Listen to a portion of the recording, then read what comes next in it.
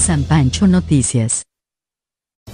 Aproximadamente a las 7 y media de la noche, de este miércoles 15 de enero, sobre la carretera Purísima, Manuel Doblado, a la altura de Cañada de Negros, se registró un accidente, en el cual, una minivan, se impactó contra dos caballos que iban atravesando, un adulto mayor que iba pasando por el lugar en su bicicleta, resultó lesionado, además, uno de los caballos perdió la vida en el lugar. A la zona del accidente, llegaron inmediatamente los cuerpos de auxilio.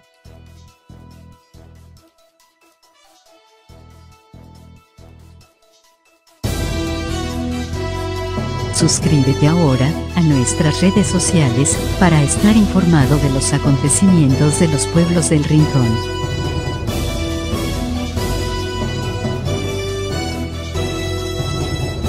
San Pancho Noticias